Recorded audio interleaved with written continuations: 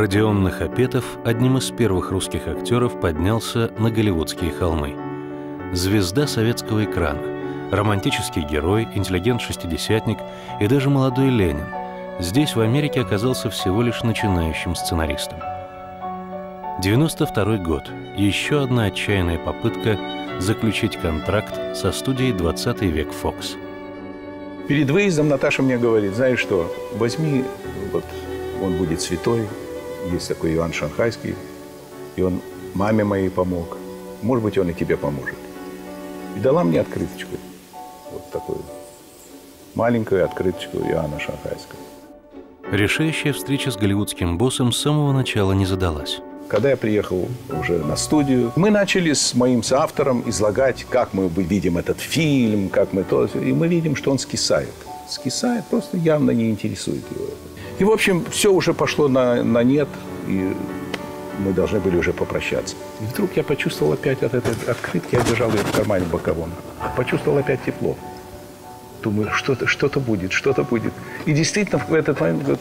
Ребята, садитесь и пишите сценарий, чтобы получился хорошо от маленькой кусочка бумаги вот такая, так сказать, сила. Вот. Поэтому я точно для себя решил, что этот человек сделал чудо, совершил чудо. Так Иоанн Шанхайский помог Нахапетову найти свое место в Голливуде. Но главное, раз и навсегда превратил убежденного атеиста в христианина.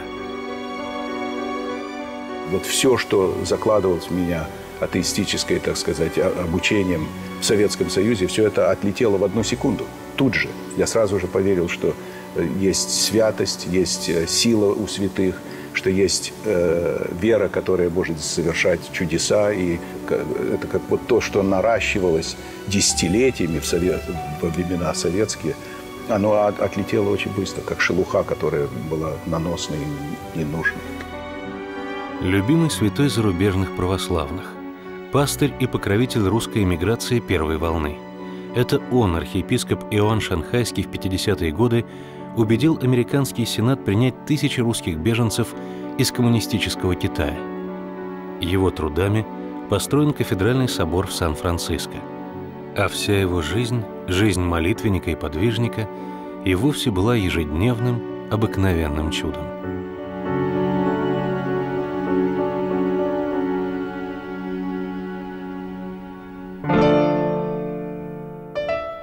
Русский эмигрант Михаил Максимович окончил Белградский университет и в 30 лет принял монашеский постриг с именем Иоанн.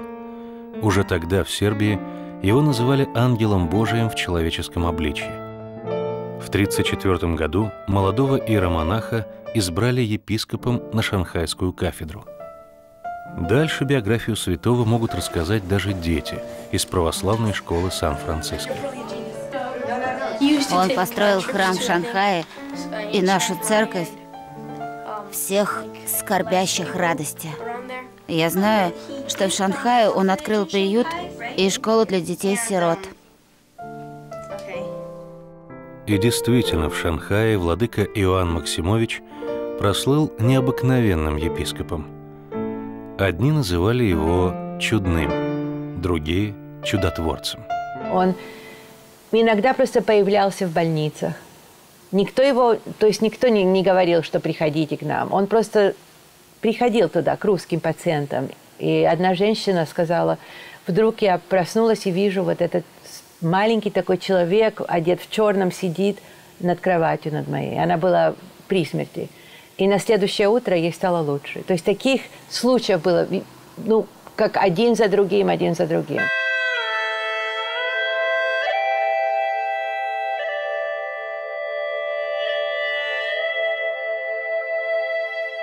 Олег Реут рос в Шанхае и помнит трудную, голодную, поневоле аскетическую жизнь, которую вели тысячи русских эмигрантов в Китае.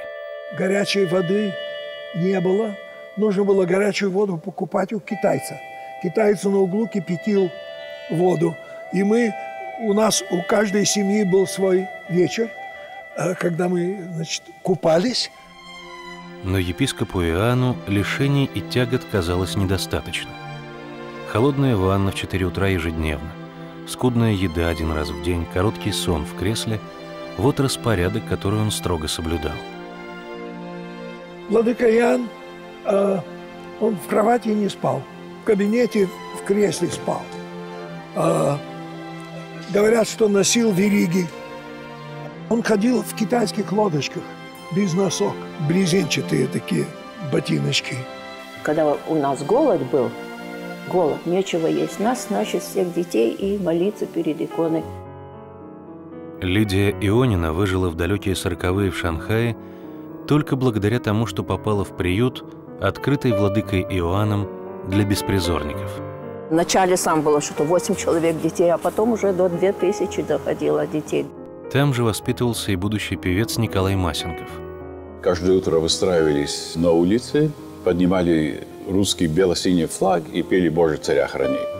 Когда там хора не было по каким-то причинам, владыка подходил Э, вот этим к детям, которые из приюта, и говорит, а ему там показывали, вот, вот этот имеет голос выдающийся, знаете, вот, вот этот голос, вот, что меня, меня, меня выбирали. И, и в это, это мне дало такое хорошее начало. Он был как э, единственный отец в моей жизни. Я питался его, его святостью и положительностью. Больных и голодных детей епископ Иоанн сам подбирал на улицах, а иногда и доставал из мусорных баков. Каждого найденыша сразу же крестили. Он ходил по бочкам, вытаскивал детей, китайчат всяких, по бочкам из, из мусорных бочек. А ему говорят, владыка, так у нас кормить нечем их. Он, он так молился одну ночь, действительно кормить нечем было. Вы знаете, так молился. И утром какой-то богач привез целый трак а, мешков э, муки. Здесь все сказали, ну это действительно. Ему приносили одежду, одеяло, э, еду какую-нибудь. А в соборе у входа, э, ну, на, на улице стояли всегда несколько нищих. Так только эти жертвователи уйдут, он сразу все это возьмет в охапку, вытащит и раздаст. Владыка Иоанн каждый день пешком обходил шанхайские госпитали, навещал больных. У Клавдии Мотовиловой, тогда маленькой девочки, случился перитонит. Без антибиотиков врач ничем не мог помочь. И мама страшно плакала. И вот Владыка встретился с ней. А что же вы плачете? Она говорит, а Клава умирает. Она, он, он говорит, а где она? Да в таком-то госпитале. Я уже ничего не помню, когда он пришел ко мне, что он, ну только слышу, что-то он там молился. Ба -ба -ба -ба -ба -ба -ба -ба -ба. Потом я опять пришла в себя и открыла глаза и смотрю, Владыка. Я говорю, Владыка. Он говорит, да, это я. Я говорю, Владыка, я умираю. Он говорит, нет, ты не умрешь. И я как-то очнулась. Он говорит, ну раз ты уже очнулась, давай вместе молиться. Вот мы с ним стали вместе молиться. Он меня поисповедал, причастил и уехал. И у меня температура спала. Приехал доктор. Он не мог, не мог поверить своим глазам и ушам. И говорит, что вы окей? Я говорю, что доктор, я не знаю, но мне кажется, я хорошо. В 1949 году Шанхай захватили китайские коммунисты. В кафедральном соборе устроили биржу. Православная община спешно эвакуировалась на Филиппины. Пять тысяч русских беженцев высадились на островах и среди диких джунглей построили палаточные города. Все филиппинцы уже, ой, тайфун начинается, они собирают свои манатки, и все из этого острова бегут. А мы, значит, это мигранты, тут, тут сколько нас, я не знаю, тысяч было. Да, он ходит и благос... это, крестит, крестит, крестит, и тайфун проходит. Мимо, все мимо. Они возвращаются и воз... э, удивляются, что мы все... А как только все мы выехали, там два сколько-то года мы жили с половиной, все, все разрушено. Епископ Иван Максимович написал послание президента США с просьбой открыть границу для эвакуированных из Китая русских. Говорят, он даже сидел на ступенях Капитолия, показывая сенаторам, что не уйдет без нужного решения. Владыка, значит, приезжал в Вашингтон и сидел там. Ну и сенаторы проходят, он их благословляет, улыбается, улыбается, улыбается. Тогда говорят, это кто такой за монах, улыбается, все, и нам машет, значит, нам машет. Ну, прошла, то был такой необыкновенный, знаете, дело. Это в день добился своего, всех вывезли.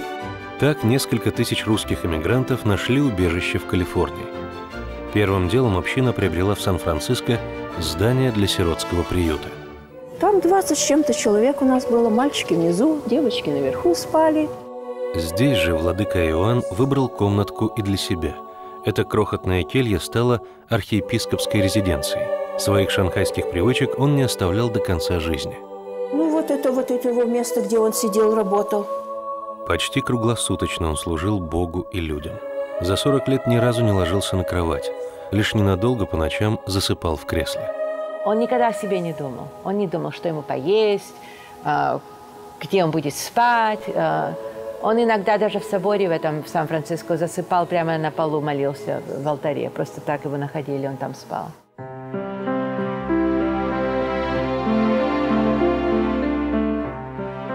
К огорчению своих духовных чад в 50 году владыка Иоанн был переведен в западноевропейскую епархию и взял на себя заботу о православной церкви во Франции и Нидерландах. В Париже долгие годы с собором ему служили смежные помещения гаража. У скромной общины не было другого храма. Даже католики-французы часто просили молитв русского архиерея и называли его «Святой Иоанн Басой». Он иногда просто к людям подходил, да, не зная этих людей, и мог спросить, как у вас сердце, или как ваш муж поправился, то есть людей, которых он не знал.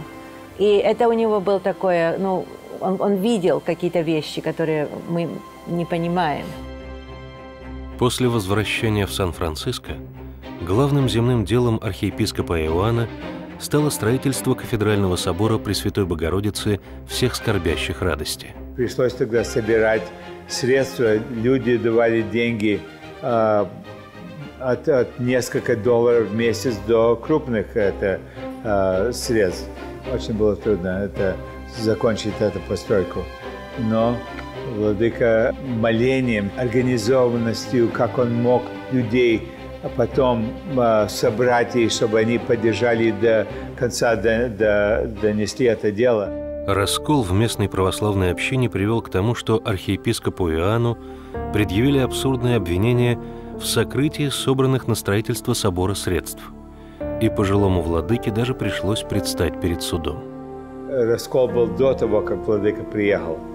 Владыка сюда приехал усмирять, и, и это, но э, тем не менее, когда он усмирял, вот появились те, которые хотели э, его осудить. И, конечно, со временем владыка был а, оправдан, и это суд э, признал то, что владыка а, его а, в сторону, и все со временем затихло. Когда Родион Нахапетов познакомился с биографией Иоанна Максимовича, он словно увидел его живым. Такого необыкновенного характера не придумать ни одному голливудскому сценаристу. Меня как режиссера, конечно, поражают э, ну, такие характеристики, вот как Наташа рассказывала, что он редко когда одевал обувь. Рассказывали там какие-то шутки, что он, ему сказали, что вы должны быть всегда с обувью. Ему сказал какой-то, так сказать, важный человек. И какой-то следующий раз он его увидел, он нес ботинки в руках. В руках. И говорит, но он говорит, а что ты несешь ботинки? Я говорю, ну вы же сказали, чтобы я всегда был с ботинками. Вот я с ботинками иду, но шел босой. Вот. А, и как он говорил, у нас есть запись его, его проповеди. И в этой записи, в фонограмме в этой, а, я закрываю глаза, я слышу, и я вижу, я представляю, потому что я знаю очень хорошо лицо его, я его очень легко воображаю, вижу, как он эту проповедь произносит. У него были трудности вот с, с речью. разбойнику,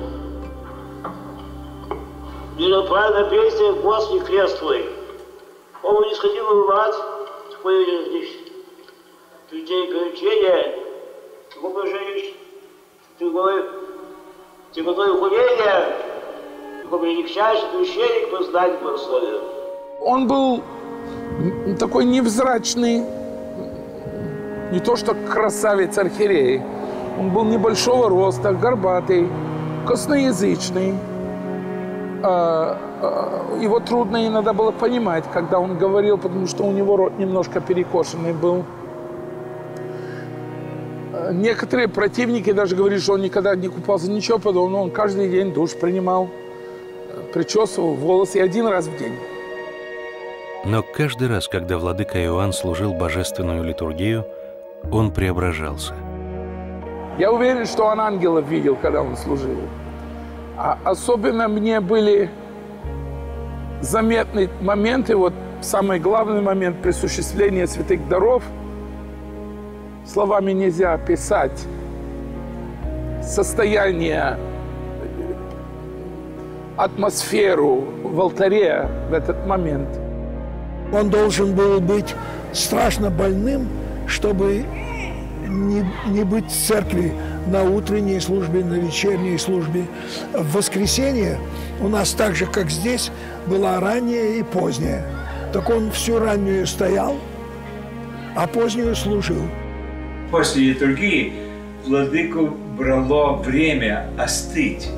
Он подходил к иконам разным, это, а, чтобы именно, именно остыть после литургии, потому что он таким, так, с такой пламенной молитвой это молился и, и совершал литургию, что это было это просто для нас, э, кто видели, это было просто э, мурашки по телу. Он служил каждое утро, а после литургии обязательно отправлялся в одну из больниц Сан-Франциско навещать православных, знакомых и незнакомых. Каждый раз ходил по госпиталям и везде проверял, кто есть православный, а если не написано, что православный, смотрел по фамилии, и тогда шел в палату. Для многих больных его визиты были решающими. Звонок, женщина спрашивает, как похоронить мужа? Я говорю, а когда он умер? Она сказала, он еще не умер. Такой странный ответ, как хоронить мужа, он еще не умер. Ну, я положил эту трубку, пошел, владыка спросил, это владыка вот такой-то такой э, звонок. И владыка всегда спрашивал, познай, какой госпиталь. И тогда это был э, госпиталь французский недалеко. Его да, мы привезли туда. Этот человек умирал, вот у него что-то в горле, его горло было вот такое. Владыка всех попросил уйти, это, э, э, помолился, причастил его. И этот человек, он э, э, поправился после этого и умер 2-3 года после от совершенно другой причины. Весь Сан-Франциско знал этого странного русского, сутулого монаха в сандалиях на босу ногу, чья молитва была сильнее смерти. Американцы вот так вот знали его. Его прямо назвали Saint John. The, the Russian saint. У меня с родственницей получилось как раз во французском госпитале моя родственница, она тоже уже умерла. И мама пришла и в собор, вот как раз в соборе плачет. Владыка пришел, говорит, прикладывался там к, к иконам и говорит, Евдокия Андреевна, что вы плачете? Она говорит, да бабушка Задовская умирает, уже, наверное, умерла. А где она? Во французском госпитале. Вы бы видели, как он бежал на шестую авеню. Он бежал и застал ее еще живую. Еще сердечко билось. Вымолил вымолил, и также он долго молился, причастил ее, и, а сам уехал в Сиэтл, и там умер.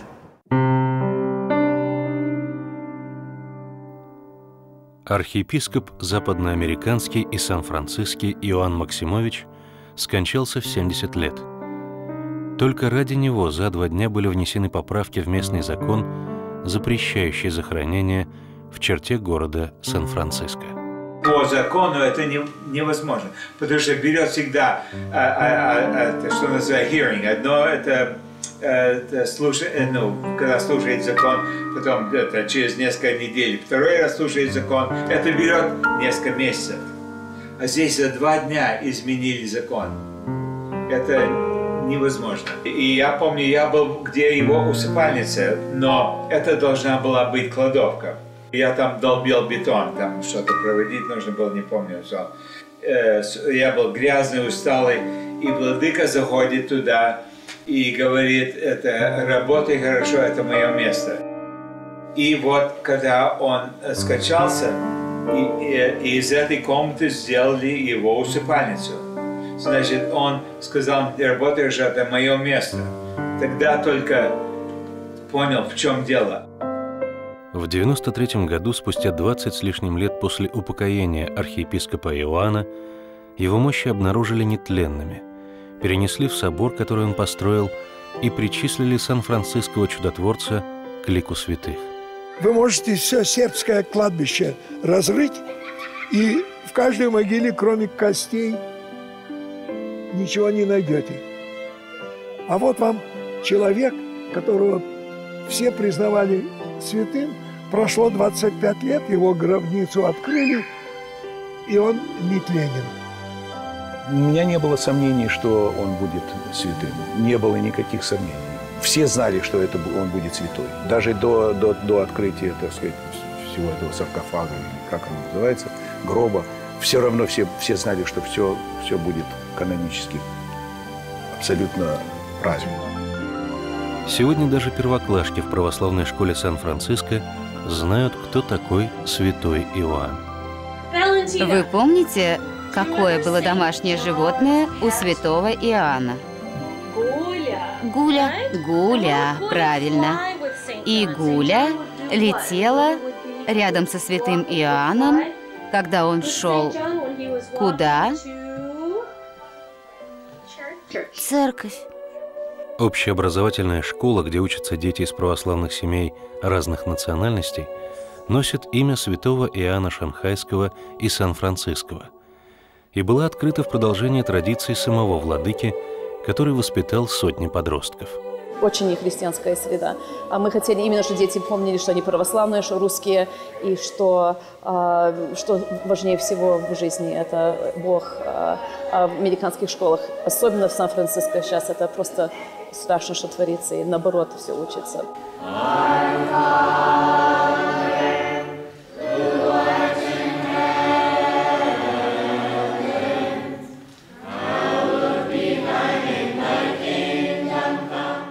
Обращаемся к нему с Родионом все время, каждый день. То есть это, он как, как будто бы живет в доме у нас. Вот у меня иконка его.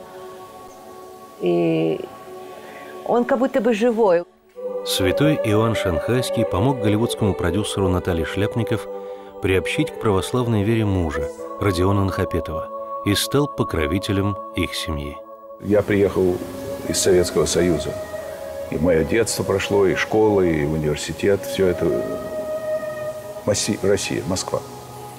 Воспитывали нас в атеизме, конечно. Никакой веры в чудеса у нас не было. Поэтому это знакомство с Иоанном Шанхайским и с его чудотворной силой было неожиданным. Когда-то у мамы я спрашивал, она была учительница, учительница ну, русского и украинского языка. Э, я как-то спросил, я говорю, мама, а что такое, что такое Бог?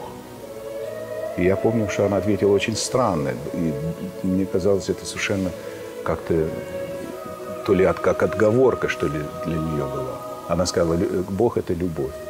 И вот, чтобы понять это, проникнуться вот этим понятием, нужны годы иногда. А иногда нужно вот одно чудо, которое тебе все меняет в твоей жизни. Этим чудом для Родиона Нахапетова стала первая молитва к Иоанну Шанхайскому, которая была услышана. Теперь в его Лос-Анджелесском доме такие молитвы звучат постоянно. «Сия благодать и обновление буди нам ходатай, святитель Иоанне, помози нам в немощах, исцели болезни, помози в житейских и семейных делах. Всегда а, остаюсь благодарным и Иоанну Шанхайскому, и своей жене за то, что она открыла вот этого маленького, хрупкого человека, который может совершать великие дела, совершать таинственным образом, непостижимым. Это удивительный человек. Мы должны быть благодарны ему действительно за то, что он помогал очень многим при жизни и помогает сейчас очень многим, когда его уже нет. русский монах, который прославился в Китае и Америке. Человек XX века, который веровал с истовостью первых апостолов. Архиепископ, который всю жизнь прожил нищим аскетом. И святость, которая для современного мира кажется абстрактной и недостижимой, для него стала реальностью.